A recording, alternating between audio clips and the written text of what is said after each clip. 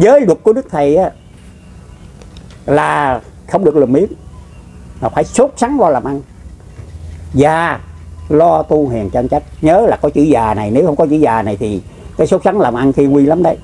Thưa quý vị cái cái điều răn cấm thứ hai này đó nếu chúng ta xét á hồi nãy mà chúng ta nói đó nó không dính dáng tới đạo Phật á. Thật ra nó dính dáng tới đạo Phật giáo Hòa Hảo. Bởi vì đạo Phật giáo Hòa Hảo là một cái đạo Phật được hiện đại quá được đi vào cuộc đời và cận nhân tình sống giữa thế gian hình thành cho một cái người đang làm người ở giữa xã hội này. Buộc lòng cái cái cái cái giới luật của đạo Phật đó, của Phật giáo Hòa Hảo á lại nó có những cái điểm này. Những điểm này là những điểm mấu chốt để thấy rằng cái giáo lý học Phật tu nhân của Đức Thầy nó gắn liền với nhân sinh là vậy. Có thể nói rằng nếu là người tín đồ Phật giáo Hòa Hảo mà người đó làm biến không là làm ăn là phạm giới.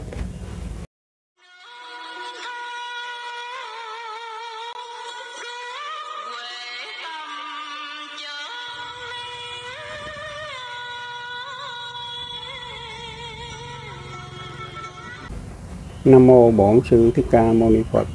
Nam mô A Di Đà Phật. Kính thưa toàn thể chư đồng đạo. Cũng có cái nhân viên lành à, trong cuộc à, hội ngộ với các cháu ở xa đến giếng, rồi à, cũng có muốn nghe đôi điều về giới luật. Rồi tôi xin chia sẻ với quý vị những cái quan điểm giới luật mà Đức Thầy đã trao chúng ta trong hệ thống giáo lý Phật giáo Hòa Hảo. Thưa quý vị, giới luật, nếu nói giới luật thì à, tất cả người tu Phật đều hiểu nó là một ừ, pháp rất căn bản. Bởi vì ngày xưa trong kinh Phạm Võng Đức Phật bảo rằng giới minh như nhật nguyệt, diệt danh lạc châu vi trần Bồ Tát chúng do thị thành tự giác tất cả các ừ, bồ tát như di trần nó đều do giới mà thành, cho nên giới đóng vai trò rất là quan trọng. Giới là căn bản trong con đường tu tập, cho nên không một vị giáo chủ nào mà không đề cập tới giới, trong tất cả mọi lĩnh vực nào cũng thế. Đặc biệt thì cái ờ, khi mà mở đạo, đức thầy rất là chú trọng tới giới luật. Đạo của phật giáo hòa hảo là một đạo phật, giới luật của phật giáo hòa hảo là giới luật của đạo phật tam quy ngũ giới được đề cập đầu tiên, đó là căn bản của giới hạnh của người tu Phật.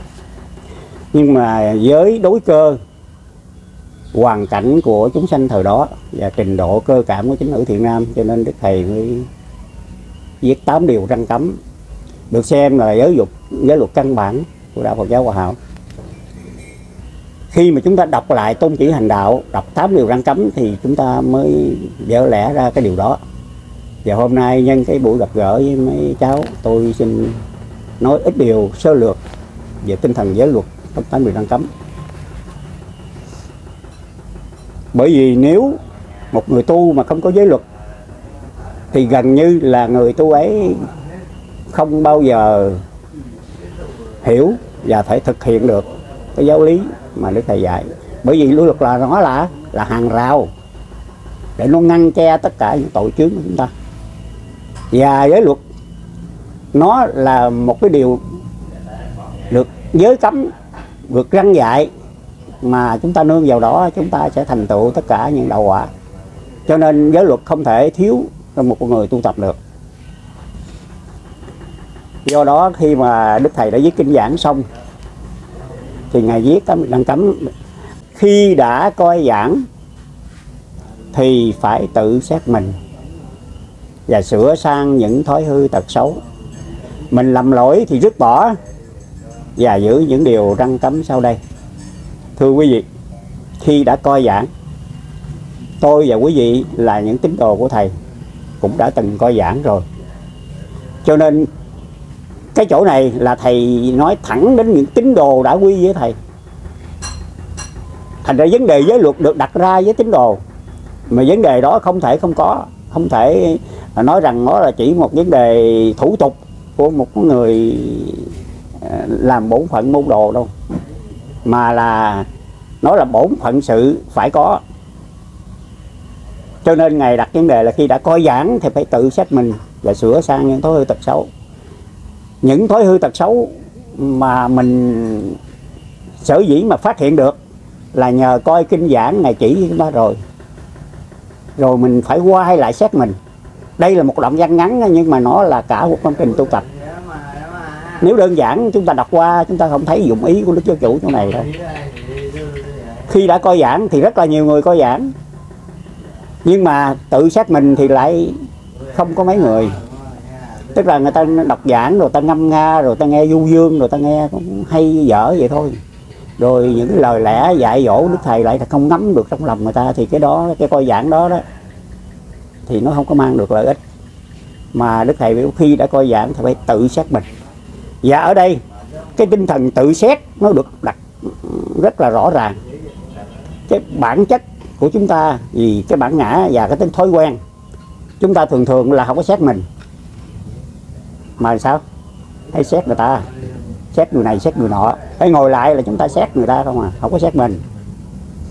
Và chính vì không xét mình, cho nên cái lầm lỗi của mình không có thấy. Mình lo tối ngày lo dòm lỗi của người ta, cho nên nó sanh tổ ra phiền não. Nó đổ ra không biết bao nhiêu những cái chuyện không hay.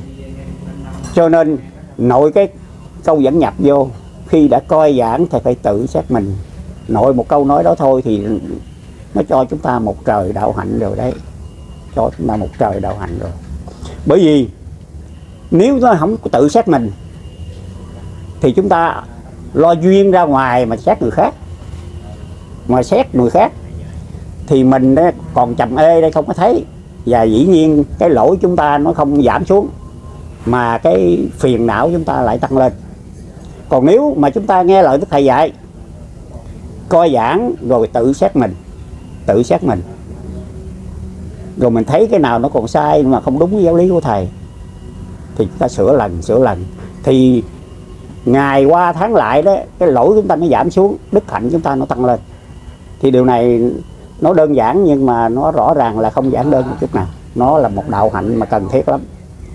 Ngài nói thêm phải tự xét mình và sửa sang những thói hư tật xấu. Đây là nói cho rõ ra. Xét mình rồi nhận được thói hư tật xấu thì chúng ta là làm công việc tu sửa. Chỉ tu là sửa thôi.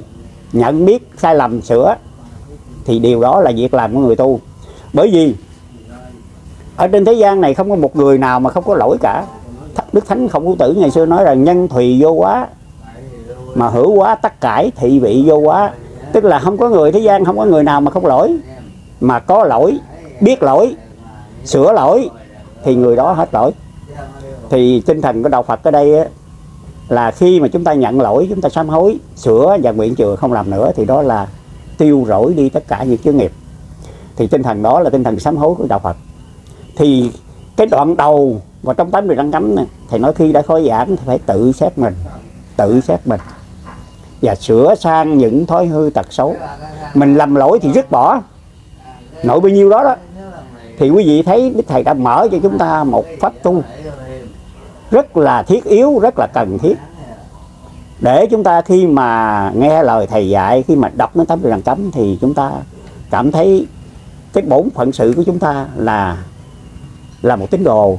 Chúng ta đọc kinh giảng, chúng phải lắng lòng, thấm tất cả những lời dạy của thầy vào lòng, rồi tự xét cái mình còn chỗ nào sai để sửa.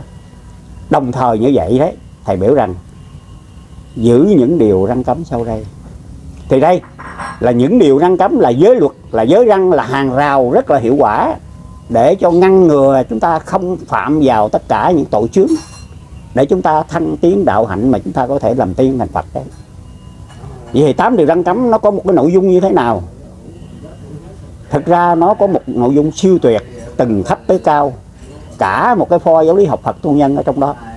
Cho nên ờ, chúng ta có thể, có thời gian ờ, chúng ta sẽ trình bày nốt tám điều răng cấm. Thì hôm nay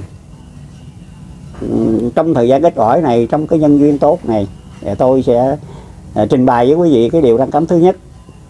Rồi nếu có dịp thì chúng ta sẽ trình bày đoạn cấm thứ hai thứ ba thứ tư và đến điều thứ thứ tám và cái đoạn kết của cái điểm đoạn cấm. Rất là quan hệ cảm ơn hai cho thì điều thứ nhất đức thầy dạy chúng ta gì? điều thứ nhất ta cho nên uống rượu cờ bạc, á phiện, chơi bời theo đàn nếm phải giữ cho tròn luân lý tam ca ngũ thường. Thưa quý vị, một đoạn văn ngắn thôi, nhưng mà nó là một trời đạo hạnh quý vị à không dễ dàng thực hiện một cách trọn vẹn đâu. Thảo nào ngày xưa có một số thức giả hỏi đức thầy nói ông mình giáo chủ, đức thầy, ông Tư ơi ông dạy tín đồ sao mà giới luật ông có 8 điều ít xịt vậy? Bên phải hoạch người ta tỳ kheo tới mấy trăm giới lần. Thì sao ông dạy tín đồ ông có 8 giới vậy? Thì đức thầy mới nói mấy ông thấy 8 giới gì đó trong, trong đó nó nó có cả ngàn nữa à. Thì mấy người kia cũng ờ, nghe lấy làm lạ nhưng mà cũng không thuyết phục được. Rồi thầy thấy vậy thầy mới lấy cái viết ra. Để tôi làm bài toán cộng mà 8 số 8 ra một ngàn cho mấy ông coi nha thưa quý vị, chỉ có đức thầy là bài toán đó cho tới bây giờ, chưa có người nào biết sách bài toán đó đâu. 8 số 8 bên này ngày sách cái cái hàng đơn vị là 5 con số 8 một dọc xuống rồi kế bên này là hai số 8 rồi kế bên này là một con số 8 ở bên này cộng 5 lần 8 40 với không nhớ 4 2 lần 8 16 với 4 20 với không nhớ 2 2 cộng với 8 là 10 là 1 ngàn đó. 8 số 8 là bài toán cộng là 1 ngàn thì đó chỉ có Đức Quỳnh giáo chủ ngày xưa ngày biểu diễn cái bài toán cho những thức giả ở Sài Gòn coi. Thì người ta đọc bài toán đó rồi người ta thắng phục về sự nhưng rồi người ta sẽ thắng phục về lý khi mà người ta đọc nốt cái nội dung của tám điều răn cấm mà Đức Thầy dạy bộ cào vậy thì nha quý vị ơi, bây giờ chúng ta hãy tìm hiểu coi cái điều thứ nhất á. Đức Thầy dạy chúng ta như vậy đó là cái nghĩa sao? Điều thứ nhất, ta chẳng nên uống rượu. Sao lại cấm uống rượu? Điều cấm uống rượu này ở trong giới luật nhà Phật có không? Xin thưa quý vị, có đấy. Đó là giới thứ nhất là ẩm tửu. Trong ngũ giới, ẩm tửu là uống rượu. Thì điều thứ nhất, đức thầy dạy, giống hệt như cái giới luật của đạo Phật. Tức là không được uống rượu không uống rượu thì có nhiều người nói giờ tôi không uống rượu, tôi uống bia được không? Không được, bởi vì bia nó cũng có cái men say. Sở dĩ người cấm uống rượu ở đây là dừng lại và vô hiệu hóa những tác hại của chất men. Nó gây rối trên đầu não làm mất trí tuệ. Rồi từ cái mất trí tuệ mà cái ức chế thần kinh không hoạt động rồi người ta làm càng làm ẩu, rồi gây ra những cái nghiệp chướng rất là lớn. Chứ không phải uống rượu mà nó tốn hao gì với đức giáo chủ hay là cho ai? Mà mình uống tiền rượu của mình. Mình uống rượu vừa tốn tiền, vừa tốn sức, vừa gây tổn hại cho xã hội một cách kinh khủng. Bây giờ hãy ờ, mình nói đơn giản một chút đi, chứ cái vụ này mà nói cho nó rộng ra đó thì cái tai hại của uống rượu không biết sao mà nói cho hết được. Bây giờ tất cả những cái hồ sơ mà giải quyết ừ, tai nạn giao thông của mấy anh cảnh sát giao thông ấy trên đó nó hơn 90 phần trăm. Những tai nạn giao thông đều do rượu đấy. Quý vị thấy ghê chưa? Rượu nó tác hại như vậy đó. Cho nên các ổng để cái biển là khi đã uống rượu bia là không tham gia giao thông đó như vậy mà người ta cũng ta cũng uống rượu người ta chạy đụng. Mình chết đã đành rồi mà báo người khác. Cái này nó nó nó, nó tai hại không lường. Còn chưa nói tới ở trong nhà đó thì cái người uống rượu đó, cái người chồng uống rượu thì kể như rồi, cái gia đình đó thì lãnh đủ rồi. Uống rượu vô, lo tối ngày uống rượu là tốn tiền, tốn bạc rồi. Mà đâu có làm ăn gì. Thì nó say xỉn rồi. Thì chưa nói đến lúc mà uống riết còn thành ghiền, mà nghiện rượu rồi thì nó là nguy cơ. Nguy cơ lớn lắm, kể như con người đó, bỏ đi. Thì một cái xã hội mà có nhiều con nghiện, một cái xã hội mà chỉ biết rượu không, quý vị hình dung cái xã hội đó làm sao? Thanh niên và những người là rường cột những người làm nên cái cái sức mạnh cho đất nước cho kinh tế đó mà đều là rượu say xỉn hết trơn thì quý vị nghĩ coi cái đất nước đó ra thế nào. Nghèo. Nó là một sự băng hoại khủng khiếp một sự tê liệt toàn bộ từ cái cái cái từ gia đình ra tới xã hội từ kinh tế cho đến quốc phòng. Cho nên đây là một cái điều mà rất cần thiết cho nhân sinh khi mà ngài đưa ra cái giới rượu. Đấy là vì dân tộc, vì đất nước, vì nhân sinh, vì bốn ân của mỗi một người đều phải hưởng thì nên tránh uống rượu để hoàn thành được. Còn nếu đã phạm vào rượu rồi, thì nó phạm liên tục các thứ khác. Nó có như câu chuyện mà người ta đặt giả thiết lên, ngụ ngôn lên đó. Có ông đó thì ông say rượu thôi rồi, mới đầu ông say rượu thôi, nhưng mà ông từ cái uống rượu ổng ổng phạm luôn cái tội bất hiếu rồi, tội sát sanh gì, tội trộm cướp gì, tội tà dâm, những tội trơ cái trọi à nhưng ở đây thì mình không có thời gian mà không có kể linh tinh mấy cái chuyện đó rồi. Nhưng mà thư thật là nó nó như vậy đấy. Chứ không phải là người ta chuyện ngụ ngôn đó, không có đâu. Vậy thì rượu, nó tai hại vô cùng, từ gia đình cho đến xã hội. Cho nên đức thầy cấm ta uống rượu. Thì mục đích để lành mạnh hóa cuộc đời cho từng cá nhân. Lành mạnh hóa một cái gia đình êm ấm, lành mạnh hóa một xã hội phồn vinh và một đất nước có đầy đủ tất cả mọi tiến bộ. Cả một nhân loại bình yên, an lạc và hạnh phúc thì chỉ có rượu thôi, giải quyết được cái rượu thôi. Bây giờ ngoài xã hội đó mà thanh niên nào mà không uống rượu đó thì anh thanh niên nó có giá liền, bảo đảm.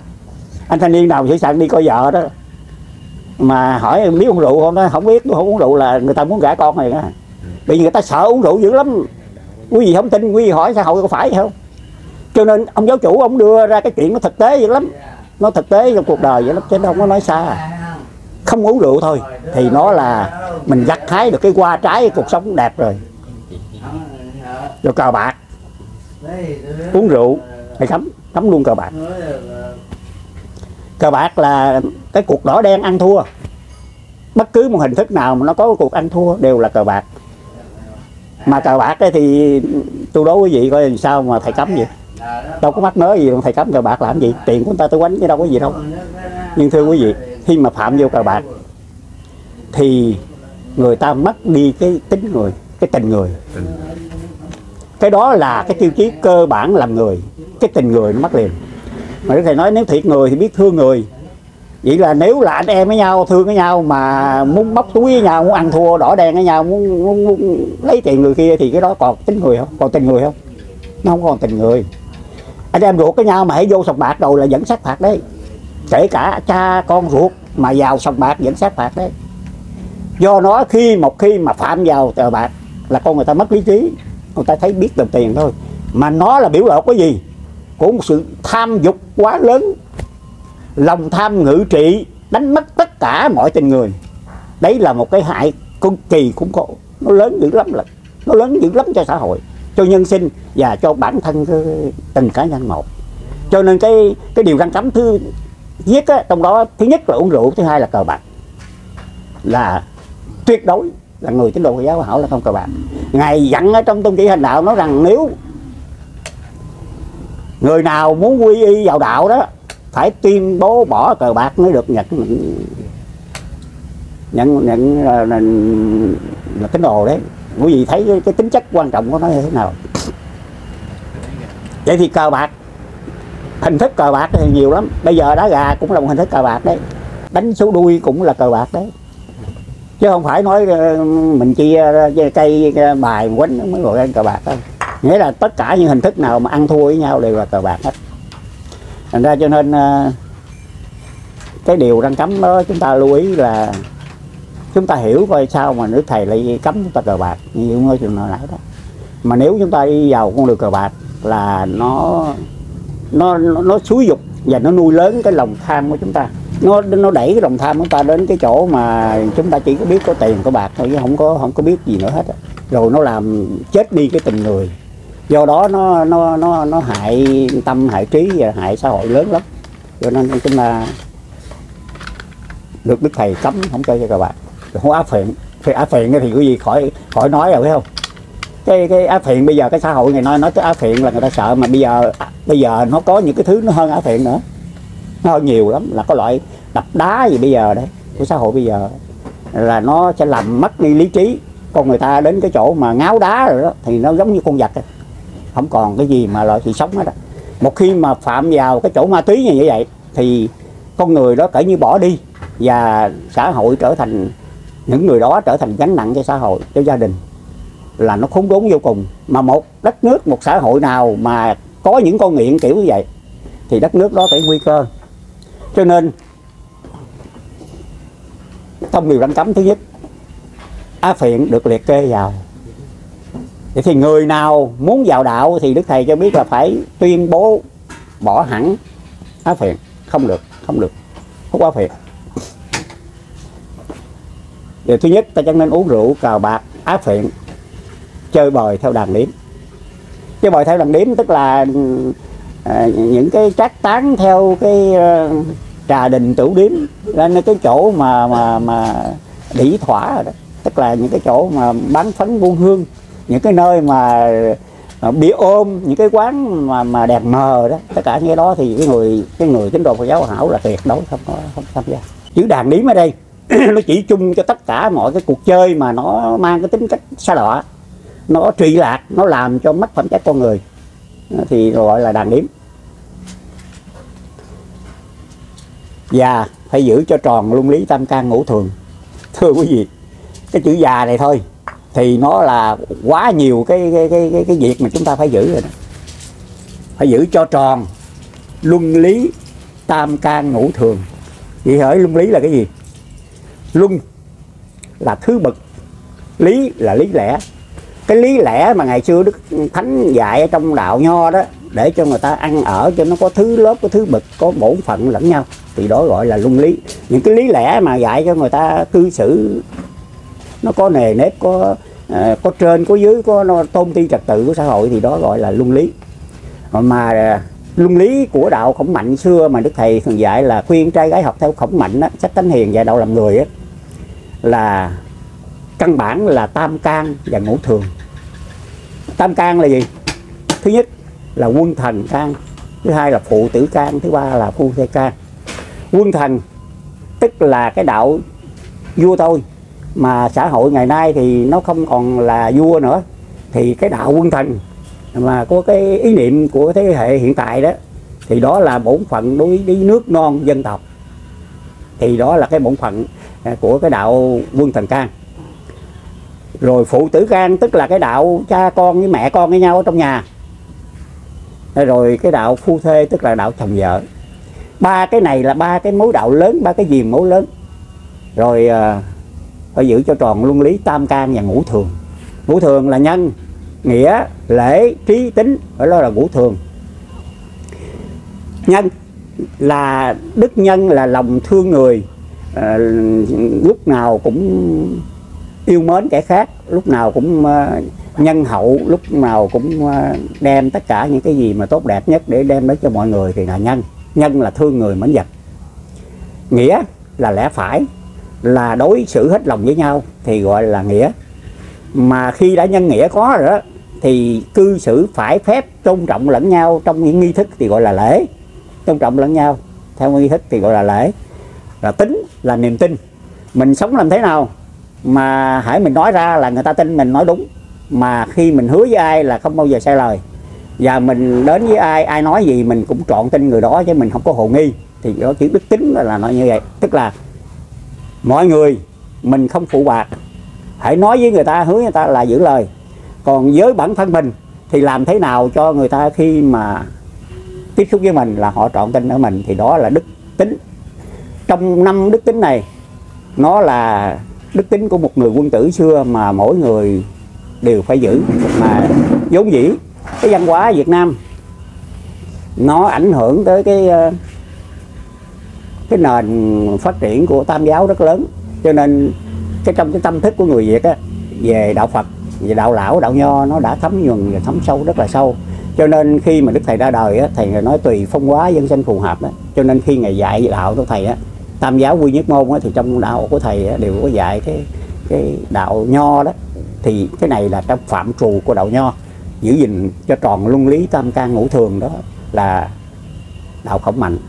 Người ờ, đấng trượng phu là người quân tử á, tức đàn ông á là tam can ngũ thường. Còn người phụ nữ thì phải giữ độ tam tùng tứ đức. Thì đó là cái luân lý của nho gia. Cho nên nội tâm đều đang cấm thôi. Thì nó đã hình thành một đức hạnh, một con người giữa một xã hội đời thường đầy nhân cách, đầy đủ nhân cách của một con người. Có thể nói là như vậy. Vậy thì chỉ cần điều răn cấm thứ nhất thôi, thì đã hình thành ra một nhân cách đẹp biết bao nhiêu khi mà người ta, một cái một cái người lớn lên mà không uống rượu ờ, không cờ bạc, rồi không hút ốc phiện rồi không chơi bời theo đàn điếm, mà lúc nào cũng giữ tròn luân lý tam ca ngũ thường tức là bổn phận với nước non dân tộc mình làm tròn. Rồi à, đối với cha mẹ thì hiếu thảo đối với con cái thì là mình làm mẫu mực. Rồi à, tình vợ chồng thì chồng hòa vợ thuận dạy dỗ cháu con thảo hiền. Thì đó là tam ca ngũ thường nhân nghĩa lễ trí chính trọn vẹn. Thì đấy là đức hạnh của một con người đứng giữa xã hội rất là đẹp. Khi thực hiện được điều đáng cấm thứ nhất là hoàn thành nhân cách một con người, gần như đạo nhân được hoàn mỹ. Mà chúng ta sẽ có một cái giá của làm người rất là đẹp rồi.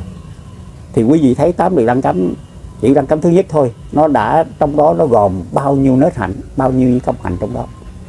Thật ra chúng ta nói đại lược thôi, chứ nếu chi tiết ra nữa thì nó còn dài lắm. Vậy thì điều đăng cấm thứ nhất của tám điều đăng cấm, thì nó nói lên được nhân đạo, cái đạo làm người. Trước tiên là đức thầy mở ra chúng ta cái đạo làm người của điều đăng cấm thứ nhất. Rồi tiếp theo là những điều đăng cấm thứ hai, thứ ba. Điều thứ hai thì lại là liên quan tới cái cung cách ứng xử cuộc đời. Điều thứ nhì, ta chẳng nên lười biếng. Phải cần kiệm sốt sắng lo làm ăn và lo tu hiền chân chất cái điều này mới lạ đây. Thưa quý vị người ta nói ông Huỳnh giáo chủ mở đạo đi, đưa người ta đến nẻo giải thoát. Mà sao bây giờ đọc tấm điều ra cấm, thế này hình như là cái điều này nó không dính dáng gì tới con đường tu giải thoát hết đó không được lười biếng, phải sốt sắng nó làm ăn. Gần như là nó hoàn toàn nó không dính tới đạo Phật. Nó không dính tới đạo Phật. Đạo Phật không có không có khuyến khích cái này. Và rồi có một số người tu Phật lại lại là có có một cái cái nhìn lại là phiến diện là nói là ở tu có lo làm ăn tu gì người ta lại kết tội cái người làm ăn nữa. nhưng mà ở đây á, giới luật của đức thầy á, là không được lùm miếng, mà phải sốt sắng lo làm ăn. Và lo tu hiền chân trách nhớ là có chữ già này, nếu không có chữ già này thì cái sốt sắng làm ăn khi nguy lắm đấy. Thưa quý vị, cái cái điều cấm thứ hai này đó, nếu chúng ta xét á, hồi nãy mà chúng ta nói đó, nó không dính dáng với đạo Phật á, thật ra nó dính dáng tới đạo Phật giáo Hòa Hảo. Bởi vì đạo Phật giáo Hòa Hảo là một cái đạo Phật được hiện đại quá, được đi vào cuộc đời và cận nhân tình sống giữa thế gian hình thành cho một cái người đang làm người ở giữa xã hội này. Buộc lòng cái cái cái cái giới luật của đạo Phật đó, của Phật giáo Hòa Hảo đó, lại nó có những cái điểm này. Những điểm này là những điểm mấu chốt để thấy rằng cái giáo lý học Phật tu nhân của Đức Thầy nó gắn liền với nhân sinh là vậy.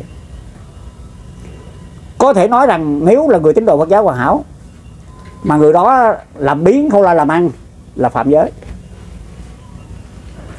Nếu người đó làm biến không làm ăn là phạm giới. Quý vị thấy sao? Bởi vì nếu nguyên cả một hệ thống giáo hội à, một cái hệ thống nhân loại xã hội mà người nào cũng nạnh người khác làm cho mình ăn không? Làm biến tối ngày người khác làm mình ăn sướng hơn mày nói không cho người khác làm ăn. Ai cũng nạnh như vậy thì quý vị nghĩ coi cái nền kinh tế phát triển nổi không chắc chắn là cái xã hội đó sẽ nghèo cằn và không phát triển được. Mà quý vị biết đức thầy ra đời trong một hoàn cảnh nào? Đất nước chúng ta khuynh huy đấy. Chúng ta đang bị đè đầu cởi cổ bởi thực dân người pháp. Họ dùng chế độ thực dân, tức là thực dân là ăn dân họ làm những chính sách ngu dân. Họ làm cho mình ngu xuống. Mình không có đủ khôn để mà họ, mà đánh đuổi họ. Thành ra họ tìm mọi cách làm cho mình ngu để họ dễ cai trị dân của mình hoàn toàn hãy gặp người đó là cúi đầu không dám ngó lên bẩm quan. Và gần như là mất hết phương hướng mất hết cái giá trị làm người. Dân đen của mình là gần dốt nát không biết gì. Không có mở mắt với ai hết không có mở thấy được cái, cái, cái ánh sáng của văn minh. Hoàn toàn đen đuổi tối ngày một nắng hai sương cặm cụi đi làm ra.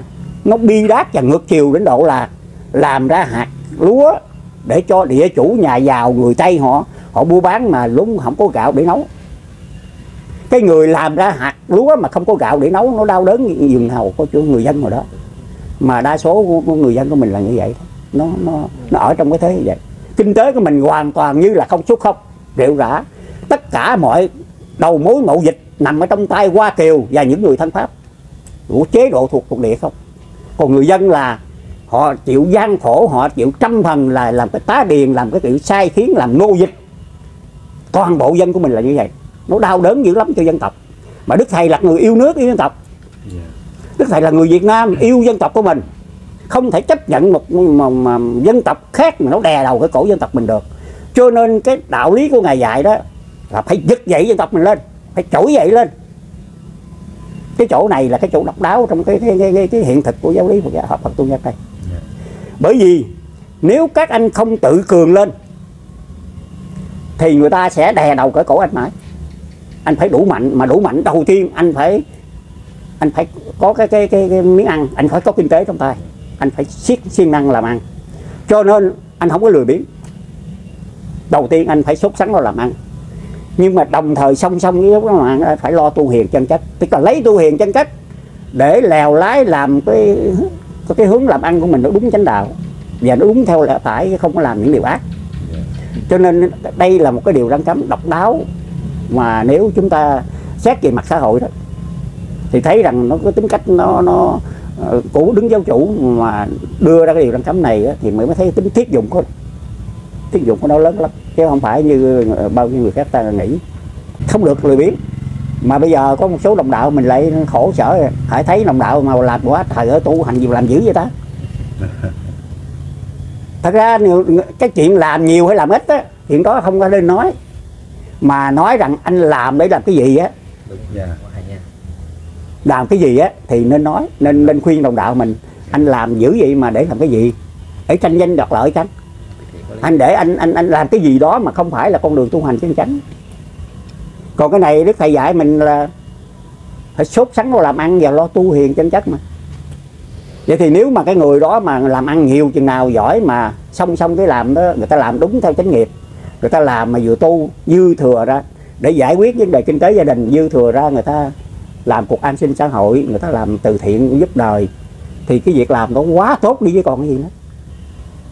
Đồng tiền mà của những người sốt sắng và làm ăn theo tinh thần giới luật đó, nếu người người nào như vậy thì nó tạo ra một nền kinh tế dư thừa nó trang trả thẻ cho những cái cái thành phần thiếu đốn thì cái xã hội được nâng lên liền. Và tình người nó sẽ được thấm đẫm liền. Nó đẹp lắm luôn. Mà đấy là một cái biển đồ mà đức giáo chủ vạch ra mà nếu tín đồ nghe lời thầy bằng cái tấm điều cái tấm điều tấm thứ hai này thôi đấy.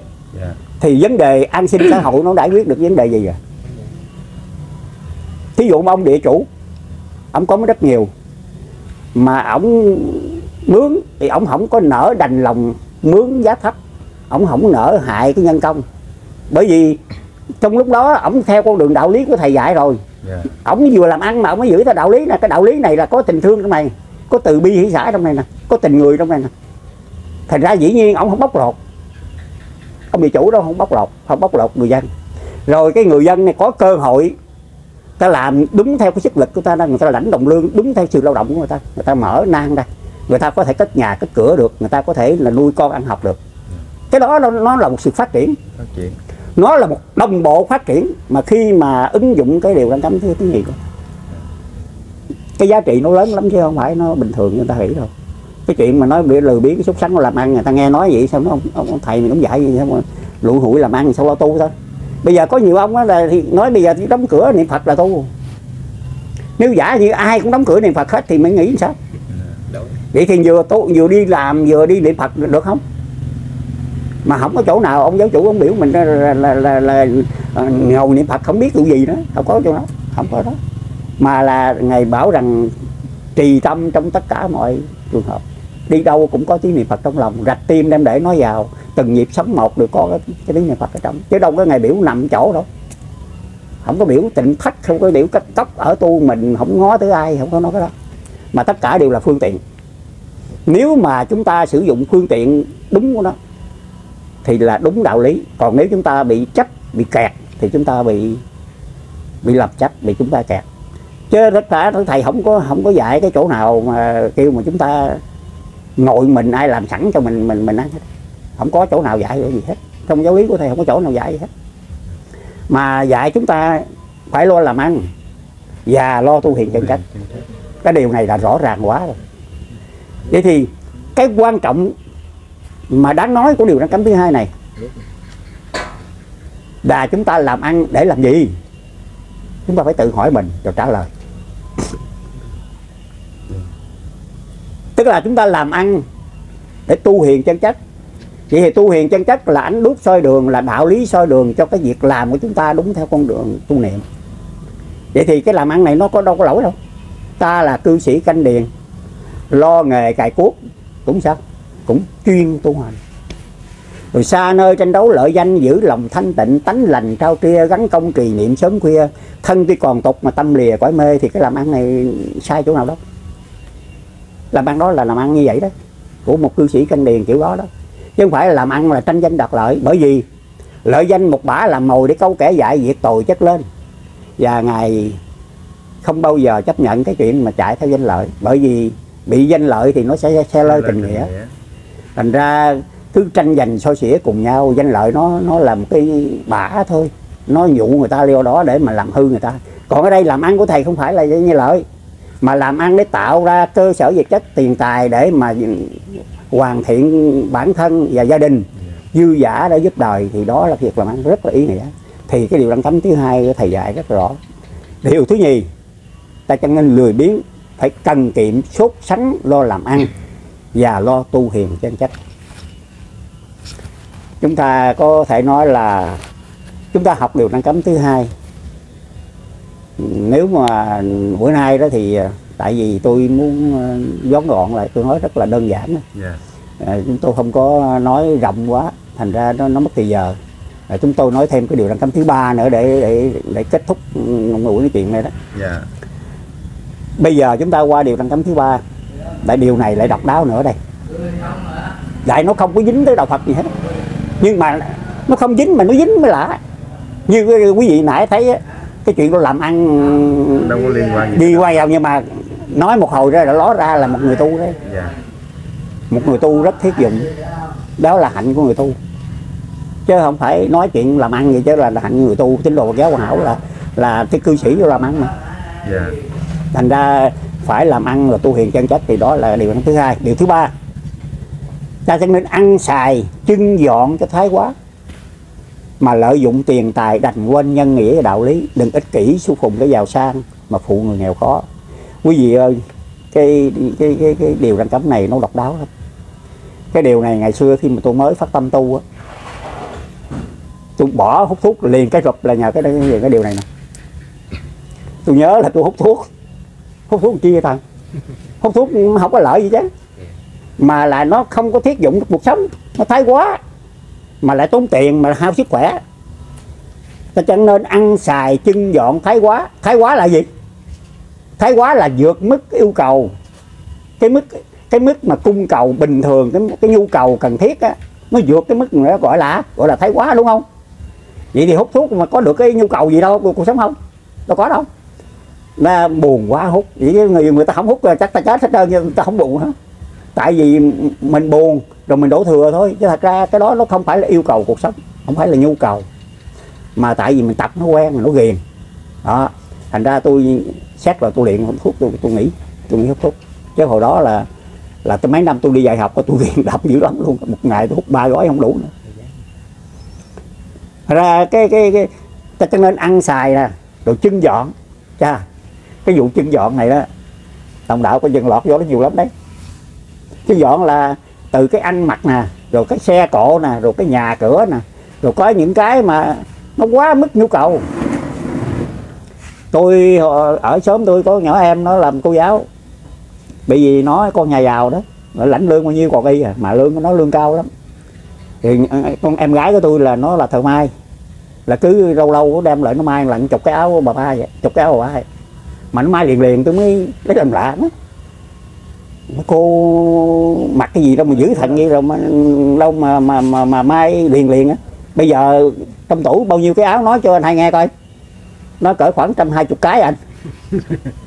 Quý vị nghĩ coi trăm hai chục cái quân ngủ nào mặc cho dữ à. Vậy mà anh, nó hãy lãnh lương ra là nó đem một sắc giải rồi nó mai thêm áo mà hãy ai chế cái giải tơ gì thì nó, nó có cái nấy vậy. Cái đó là nó nó nó quá mất bình thường rồi cái đó là ăn xài sái quá rồi. Cái đó là phạm giới rồi đó. Dạ. còn cái người tu của mình thay vì mình ăn vậy là đủ rồi. Rồi bây giờ mình muốn muốn thêm cái gì đó hoặc là mình tăng cái gì mà quá mức bình thường mình thì phạm giới. Đức thầy nói điều răn cấm thứ ba là ta chẳng nên ăn xài rồi trưng dọn cho thái quá. Vậy bây giờ cái nghĩa có chữ thái quá là tôi nói nãy đó.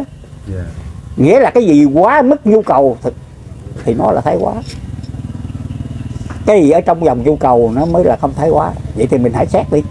Mình xét cuộc sống này cái gì nó quá nhu cầu, nó quá mức thì nó là nó thái quá. Là phạm giới, cái người tu thì đơn giản và còn phải nghĩ tới người khác nữa. Cái lý do mà đức thầy mình đưa ra cái này đó là bởi vì hiện tại xã hội, đất nước đồng bào mình đang khổ. Có những người phí phạm đúng người mà, mà dư thừa đó dư phạm mà trong khi cái kẻ thiếu không có đủ ăn. À, xin kể một câu chuyện mà lúc mà đức thầy đi khuyến nông năm 1945 đi ông Lâm Thơ Cưu mà đi về Sài Gòn tới những về đó khuya. Thì đi ngang cái cái, cái, Mỹ Thuận á thì lúc đó khuya lắm rồi.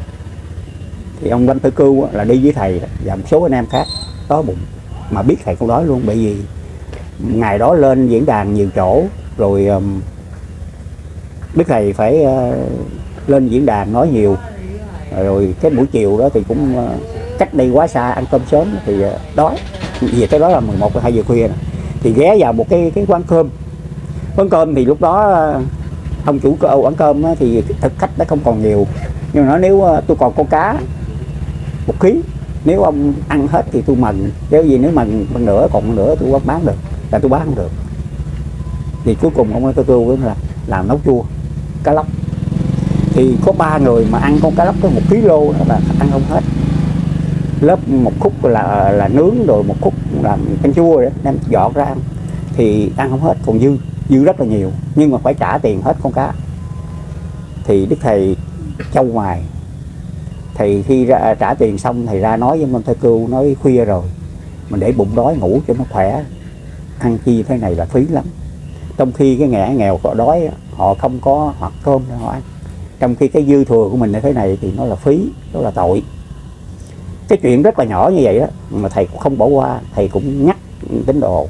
Thì nó nằm ở trong cái phạm vi của cái, cái điện cấm thứ ba ăn Dạ. xài thái quá. Ừ. thành ra những cái tấm gương đó những cái chuyện nhỏ nhặt như vậy thôi chứ mình cũng nhớ lại trong cuộc sống của mình những cái gì nó quá bất bình thường đó mà mình thuộc về quan phí á Dạ. thì tội mặc dầu cái đó của mình á mình thể nói rằng cái tiền đó tôi làm ra tôi ăn nhưng không phải. Còn biết bao nhiêu người khác nữa. Còn biết bao nhiêu người khác đồng bào của mình. Nó không có ăn. Cho nên cái câu sau mày nói đó, à lợi dụng tiền tài. Lợi dụng là mình ỷ vào cái tiền tài của mình có mà đành quên nhân nghĩa và đạo lý. Để thấy chưa? Quên nhân nghĩa đạo lý. Bởi vì cái con người ỷ có tiền rồi ăn xài với phí vậy mà nó nó nó mất cái đồng nhân bởi vì có những người người ta cơm thừa canh cặn không có đủ ăn nữa mà. Rồi bây giờ mình ăn cái rồi mình bỏ phí ngang vậy. Có nhiều người vô tôi thấy mỗi ăn ăn nửa tô à. Ăn hết sợ ta cười. Ăn kiểu vậy là chứng tỏ mình sang thì tôi thấy là nó cái đó là là không có sang miếng nào hết trơn cái tội cái đó tội. Cái đó là mình bỏ phí vậy rồi ta, chủ người ta chỉ nên miếng đổ nó dồn vô người ta người ta cho heo đồ ăn này thôi chứ làm sao ai mà ăn cái đồ dư đó mà trong khi có những người cái đồ thừa đó cũng không có để ta ăn đâu. Thì như vậy là lợi dụng tiền tài mà đành quên nhân nghĩa đạo lý. Vì thấy những cái tinh tế trong cái tám điều răn cấm chưa cái điều thứ ba này đó, nó nói lên cái cung cách sống. Một cái cung cách sống của một con người có đạo có đạo hạnh. Lúc nào cũng nghĩ đến nhân nghĩa làm ra tiền nhưng sử dụng đồng tiền hợp lý. Để còn sử dụng đồng tiền dư thừa đó đó còn biết bao nhiêu người đồng bào của mình để giúp đỡ. Đây là đạo đức rất là cao tuyệt đấy. Nó là một cái cái ờ, điều mà mình mới đọc qua tưởng Dạ. chừng nó không có gì. Nhưng mà trong đó là nó tạo thành một trời đức hạnh cho một cái người tu tập theo cái giáo lý của thầy. Nó thực tiễn nó gắn liền với cuộc nhân sinh nó thực tiễn vô cùng. Thì điều đăng cấm thứ ba theo tôi cảm nhận nó rất thiết dụng. Rất thiết dụng. Nó đem đến cho người ta rất là nhiều những cái cái, cái điều cần phải suy tư và cần cố gắng làm theo. Bởi vì chúng ta quên đi nhân nghĩa đạo lý và đức thầy dặn thêm đừng ích kỷ. Đừng nghĩ tới cái thân mình thôi. Ích kỷ là nghĩ tới thân mình à? Không biết ai nữa hết á. Su phụng kẻ giàu sang mà phụ người nghèo khó đây là một đức tính cực kỳ độc đáo mà đức thầy dạy bổn đạo một đức tính trong veo của một cái con người trong sạch thanh cao. Một đức tính thanh cao là không có xu nịnh cái trên. Bình đẳng. Không bao giờ mạt sát người dưới. Dạ. trên dưới dầu trên dưới cũng không mấy khác nghĩa là không có khác nhau. Tức là cái nhìn của người tu là cái người bình đẳng như vậy. Thì mới là cái người tu niệm. Còn cái này mình gặp người ta cao sang danh vọng thì mình toan hót mình đội ở trên đầu mà gặp cái người ừ, thấp thỏm thì mình mạt sát, mình chà đạp thì cái điều đó là nó không có đạo đức. Thì cung cách đạo đức nó cũng nằm gọn ở trong cái điều này cấm thứ ba, cái đoạn cuối này. Đừng ích kỷ bởi vì nghĩ tới thân mình không, mà quên đi, cái đó là vì bản ngã thôi. Mà su phụng cái giàu sang, phụng người nghèo khó. Những cái lời lẽ rất là đơn giản, chân phương. Những cái ờ, câu mà đức thầy răng dạy mình ở những cái điều mà tưởng chừng như không có phải là dính tới đạo Phật. Nhưng mà khi mà đọc rồi nghiệm ra chúng ta thấy đó đức thầy trao chúng ta những đức hạnh lớn. Nó từng nét than rất là nhỏ trong tình người nhưng mà nó làm thành đức hạnh lớn của một người tu vậy thôi theo cảm nhận của tôi trong tấm này đăng cấm nó có những tuyệt vời hơn thế nữa. Nhưng mà mình không có nói cho nó hết được cái, cái, cái, cái lột tả hết được cái còn rất là nhiều thì đến đây tôi xin ờ, cũng được tạm tạm dừng. Đến đây là điều thứ tư thứ năm thứ sáu Dạ. thứ bảy thứ tám. Ờ, chúng ta có một dịp khác chúng ta tiếp tục cái tám điều đăng cấm. Ờ, trân trọng kính chào toàn thể chư đồng đạo. Ờ, nam mô bổn chư thích ca mâu ni phật nam mô di đà phật